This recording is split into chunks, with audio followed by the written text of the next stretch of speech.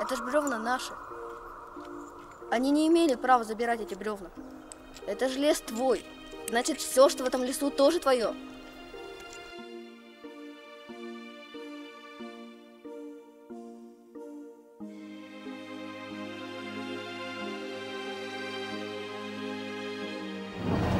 Есть реальная жизнь, а есть сказки.